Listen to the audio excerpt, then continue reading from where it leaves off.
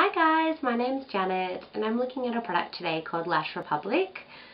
So, just looking at these guys.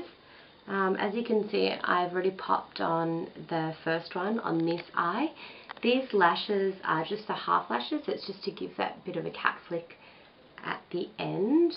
So this one is called Catty Cashmere. So I'm just going to apply a little bit of lash glue on the end. And I'm also going to get the sides as well, just a tiny bit. And just wait a couple of seconds while the glue sets. Get my trusty tweezers. And I'm just going to pop them on the top of the lash line towards the end. Press them right up against the lash line and hold them there for a few seconds.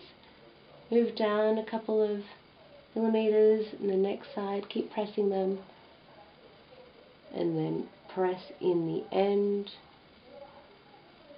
And it's just as easy as that.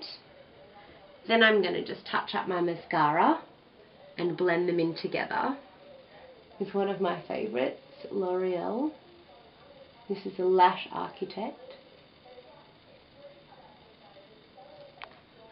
And then I'm just going to touch up the top a bit of eyeliner just to make it super dark again and blend them all together as if nothing has ever happened. And I'm good to go.